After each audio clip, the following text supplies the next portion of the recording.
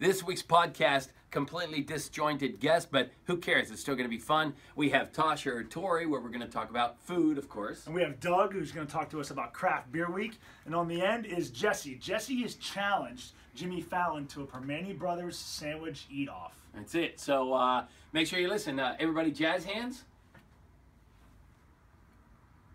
That is the dumbest thing we have ever done. No jazz hands.